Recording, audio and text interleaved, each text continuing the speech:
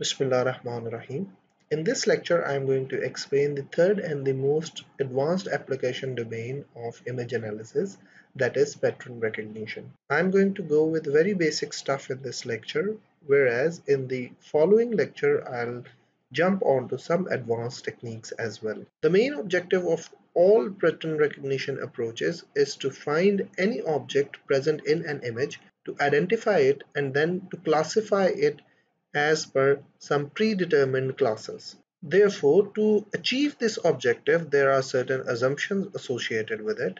That is, that image already contains some object and you already know that what kind of objects are going to appear in an image and what are different classes into which we can organize those objects. For example, if you want to clean up a messy room, how you proceed with it? You enter the room, you analyze the whole room, you then sweep the room from one side to the other, you pick up all the objects on the way. Whenever you pick up an object, you analyze it, you see your brain works that what is this object, where it should be placed, or what is the best area or the best place where this object should be present. So based on the object which your brain has analyzed, you will place it somewhere where it belongs. Additionally, suppose an example of classifying squares and circles. For example, you have certain number of squares and certain number of circles with you and you want to classify them. So what you are going to do, you are going to come towards this first object, this one. You are going to see what this object is. Somehow you are going to know that this is a square and you should place it in the category of squares. Then you are going to come towards the next object, for example this one, and somehow you are going to know that this one is a circle and you are going to place this object into the area or into the location reserved for circles.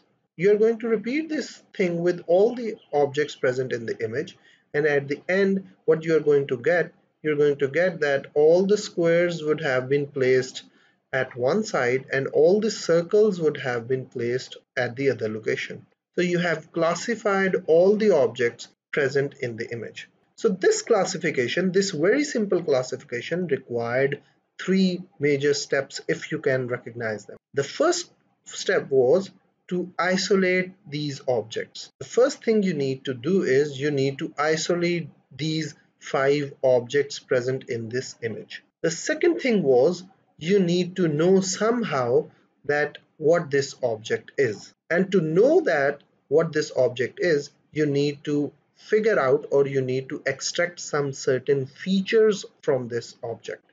These features will tell you that to which class this particular object belongs. For example, in this case, the features can be number of corners. So for this object, this object number one, you are going to extract number of corners and you are going to get a four. For the second object, you are going to get a zero. For this one, you are again going to get a four, a zero over here and a zero over here.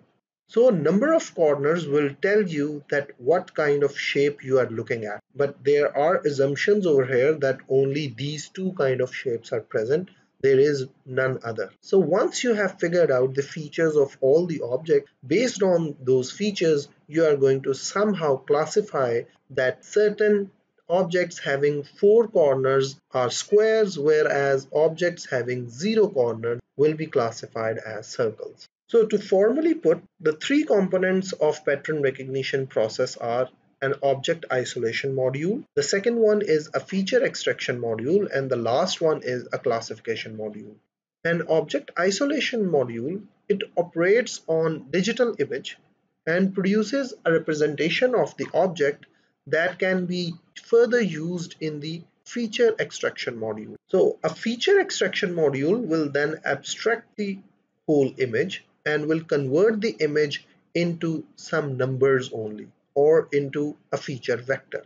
For example, we want to distinguish two type of cars. One type is a normal passenger car, whereas the other one is a racing car. So what are the features of a passenger car and what are the features of the racing car?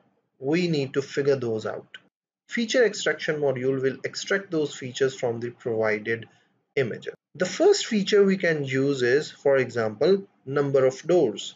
We know that mostly passenger cars have four number of doors whereas racing cars have two number of doors.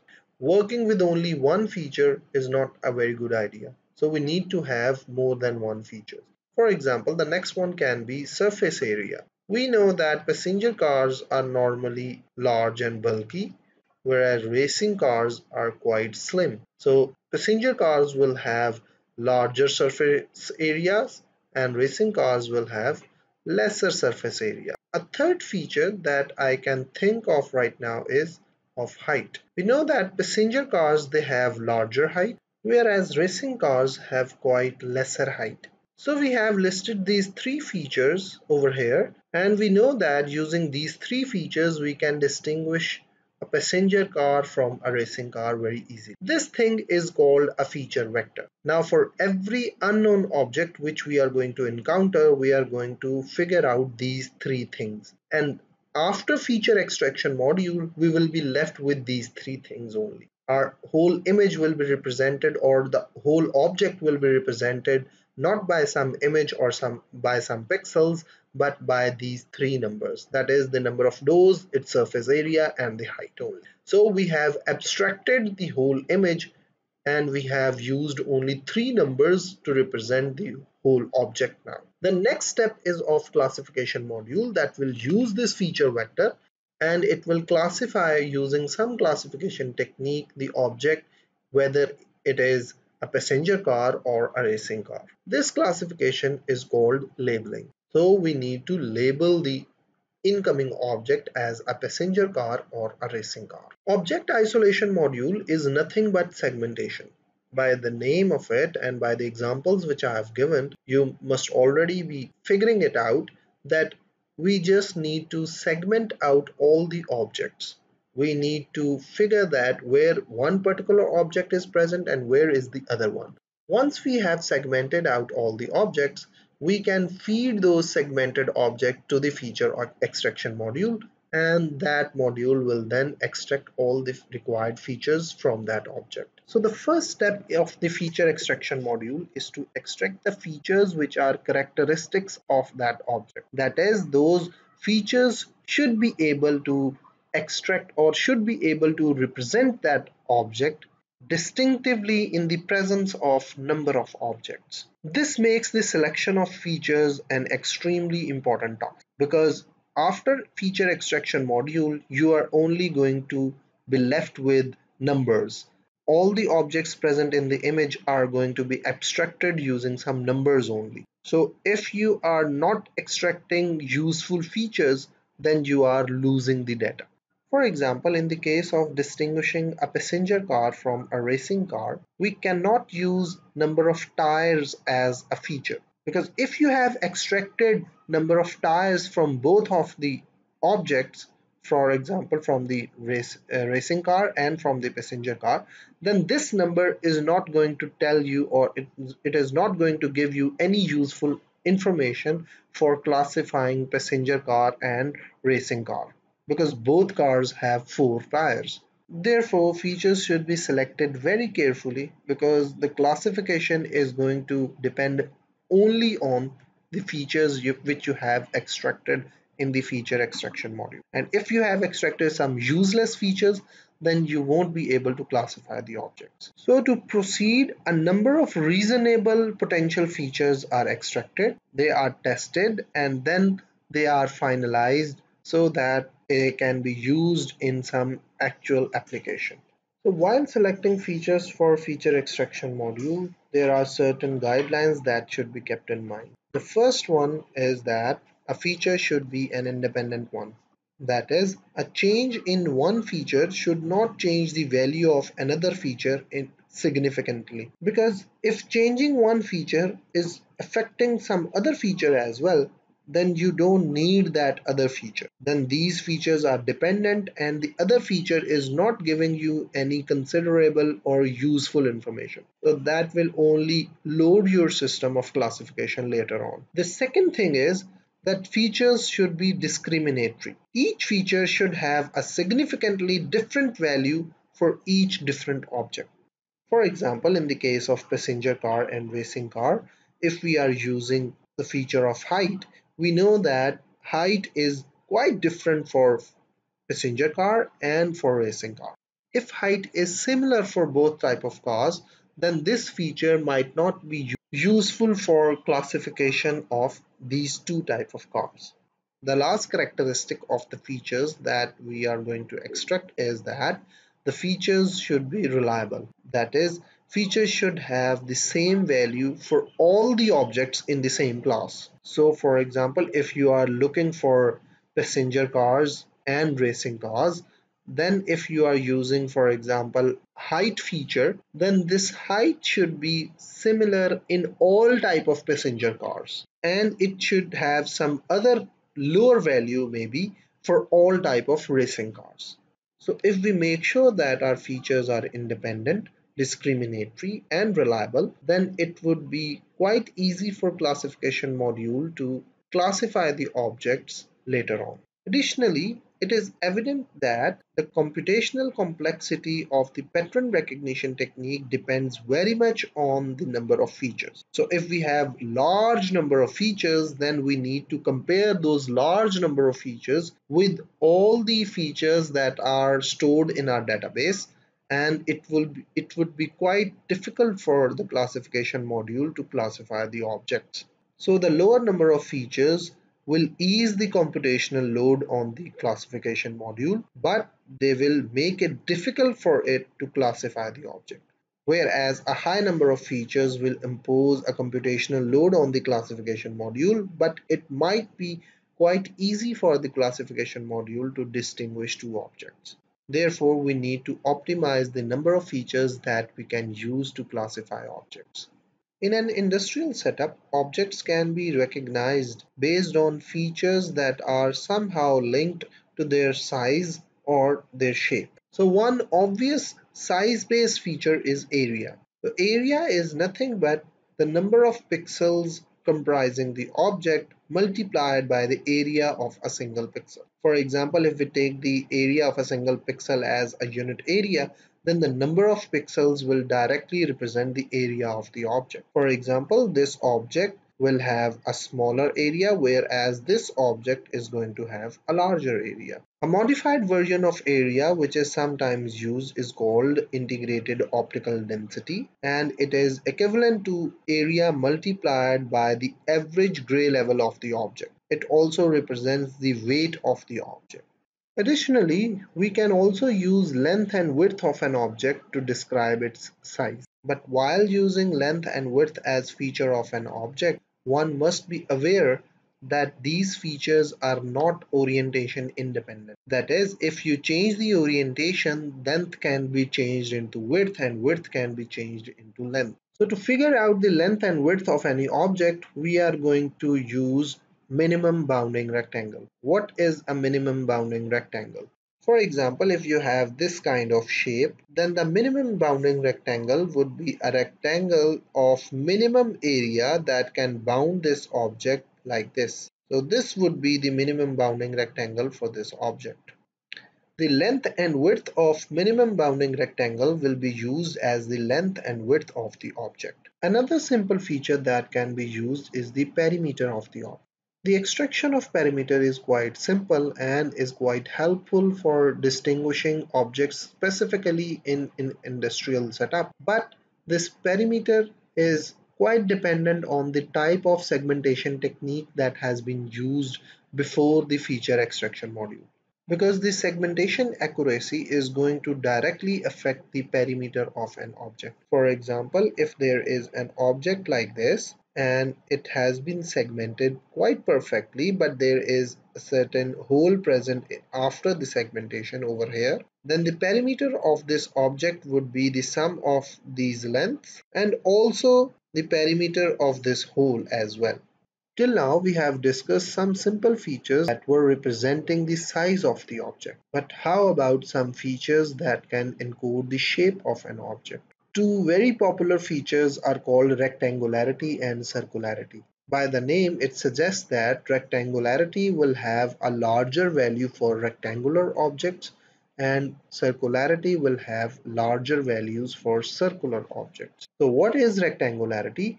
Rectangularity is the ratio of the area of the object to the area of the minimum bounding rectangle. For example, if you have a rectangular object, no matter what is the size of that object, the minimum bounding rectangle would have the same shape. So the rectangularity is going to be near to 1. For example, the area of this object will be very much equal to the area of the minimum bounding rectangle and you are going to get a 1 for rectangularity measure. Whereas if you have circular object like this, then the minimum bounding rectangle would have some shape like this. In this case, the area of the object would be pi d square by 4, whereas the area of the minimum bounding rectangle would be d square because the size of the rectangle is d by d. So you are going to get a pi by 4 for circular objects. And if this object becomes thin and curvy, for example, there is an object like this, then the minimum bounding rectangle would be like this one. Now the area of the minimum bounding rectangle has increased quite a lot, whereas the area of the object is quite small. So you are going to get values lesser than pi by 4 even. So these values are going to tend towards 0. So all the objects having rectangular shape they are going to have rectangularity measure equal to or near to 1 whereas objects having thin curvy shapes they are going to have rectangularity measure approaching 0. Another feature that can encode this rectangularity is called aspect ratio. An aspect ratio is simply the ratio of the width of the minimum bounding rectangle to its length. For example, a square will have an aspect ratio of 1, a circle will also have an aspect ratio of 1, whereas a rectangle will have an aspect ratio different than 1 and same will be the case for an ellipse or an oval. To encode the circularity of some object, there are number of circularity measures available that are used in practice but the most commonly used circularity measure is the ratio of the area to the square of the perimeter length. For example, if you have a circle like this, the area of this circle would be pi r square whereas the square of the perimeter would be 4 pi square r square and if you simplify it you will be left with 1 by 4 pi. So this is the value of this particular circularity measure for pure circle. If the shape deviates from this pure circle, the value will drop. So this kind of circularity measure, it assumes maximum value for disks and tend towards zero for irregular shapes with ragged boundaries. For example, a shape like this. Because this shape would have a certain area that might be similar to this circle, but it has a much larger perimeter. So the measure of circularity is going to drop. So once you have figured out the required features that can distinguish the objects and you have jotted those features down into a feature vector, the last step is of classification module. You are going to feed that feature vector to this classification module and using some classification technique that I'll discuss in the preceding lectures, the classification module will classify the object into some predetermined classes. To understand this idea, if one view the feature values as coordinates of a point in an n-dimensional feature space, for example, we have used two features to classify certain objects. For example, we have used rectangularity and circularity to classify some rectangles and some circles like this. Then if you plot the features of all the objects in this space, then for certain object features are going to lie somewhere over here. Whereas for certain circular objects, features are going to lie somewhere over here. So the job of the classification module is to find out this boundary that will distinguish between these two classes. And if some unknown object falls over here then it would be termed as a rectangular object whereas if something falls in this category, it will be termed as a circular object.